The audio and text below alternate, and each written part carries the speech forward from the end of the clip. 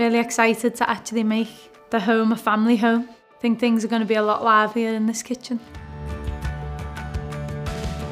Hi, I'm Tony Duggan. I'm from Liverpool and I'm an England and Everton women's footballer. We always knew we wanted children when we moved to the house. And then when we knew we wanted to get a kitchen, a couple of our friends and family have rent kitchens, so we knew all about them. Went to the showroom and got the process underway. Nav, my designer, she helped me a lot. She was amazing throughout the whole process. Things I probably wouldn't have thought about, so getting the wine cooler actually into the island really come in handy, especially when we have family gatherings in the house. Yeah, so it's a really sociable kitchen open plan how I wanted it. I think there's so many great things about it. The island is probably one of my favourite things.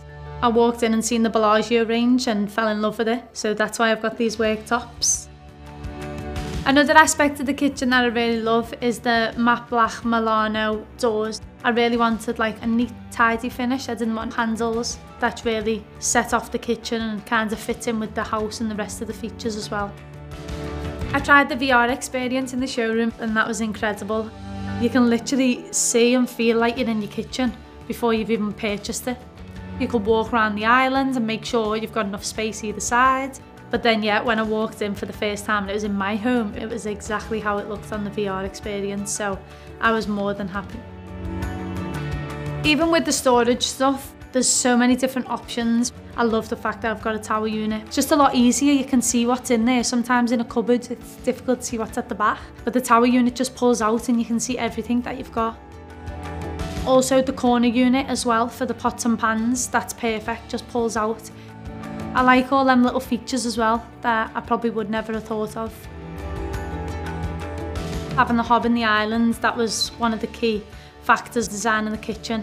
It's nice because I've got the TV behind as well, so I can still cook while I'm watching the TV. Being a footballer, obviously I have to eat healthy most of the time.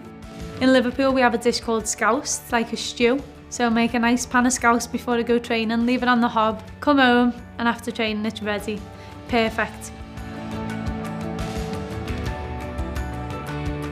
I have quite a few integrated appliances, mainly AEG.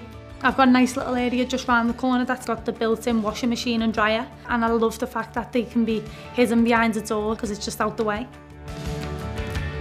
Wanted like a little bar area around the corner and I didn't know that Wren could actually provide that unit until I told her my ideas and she was like, yeah, we can build one of them for you and so it matches the worktop. Obviously found out I was pregnant and all of a sudden it's become the baby area my first impressions when the kitchen was finally done was just wow. It all came together so nicely. I spend most hours in this room, so it's a massive part of my life. I've got the baby coming, I know the baby's gonna love it, so much space running around the Highlands.